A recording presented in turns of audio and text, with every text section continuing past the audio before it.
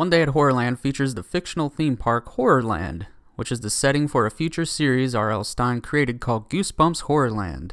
In the book, we follow the Morris family on their way to the zoo gardens, but they get lost and eventually end up at the eponymous theme park.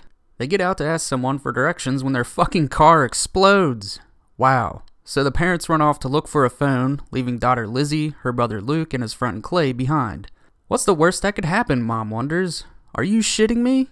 Anyway, the park features attractions that seem to stage close brushes with death, leaving Lizzie and Clay concerned about their intended nature. Luke doesn't seem to mind it. They keep passing weird signs that say things like, no pinching and out of order. Dare to ride anyway?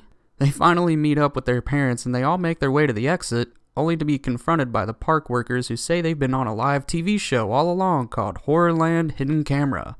And that they blew up the family's car on purpose? What the fuck? The apparent game show host put the family through another challenge in which they confront a creature that looks like Goro and other monsters, but they beat it. Their reward? Certain death. But Lizzie remembers the no pinching sign, so she pinches one of the workers who promptly deflates. The family pinches more of the workers and they disperse, giving the family enough time to escape. This is one of the more bizarre endings, but it had me laughing. Definitely one of the better books. Why I'm Afraid of Bees. This book is actually darkly humorous, and there is even a morality lesson to be gained at the end, a first for the series. The story follows Gary, who is a depressing loner that gets picked on at school and at home. One day, while playing video games on his computer, as we social outcasts are wont to do, he comes across an ad for a service that allows the client to switch bodies with another person. Gary is quick to take them up on their offer, and on the day of the switch, a bee happens to be in the room. So what happens?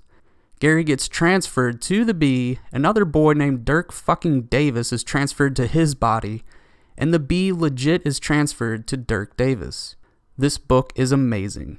I don't want to spoil too much of this because it really is a great, funny book, but the moral of the story is obviously that you should take the time to appreciate what you have. Again, a surprisingly good read. Monster Blood 2. Oh yeah, baby, we got our first sequel. This time it's to the classic Monster Blood that was book 3 in the series.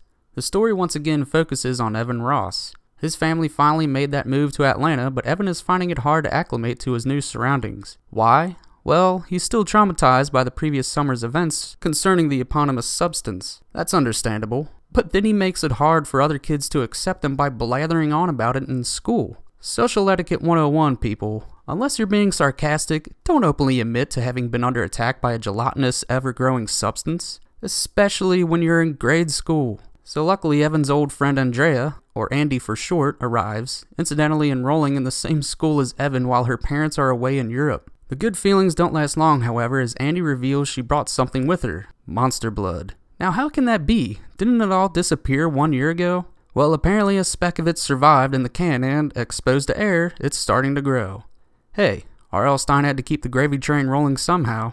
Eventually, Evan's science teacher's pet hamster is given some of the monster blood to eat as a joke and starts growing in outrageous proportions, compelling Evan to commit an unspeakable act eating the monster blood himself. He does this so he can stand a chance in corralling the monster, which is terrifying the science class. So he wrestles with it but is soon overpowered. Right as he is about to be devoured, he hears a pop, and just like that, Everything's back to normal. And he looks at the monster blood can. It has a fucking expiration date, and wouldn't you know, that very day was the exact date the blood was due to expire. Holy coincidence, Batman! But that's not the end, however, as later on at dinner, Andy receives a package from her parents. More monster blood from a toy shop in Germany! Wouldn't you believe it? Old Aunt Catherine mass produced that shit. This book is obviously setting up for a sequel, and we already know there are two more to come. Since it's distributed worldwide, Stine could have just made the rest of the series about Monster Blood.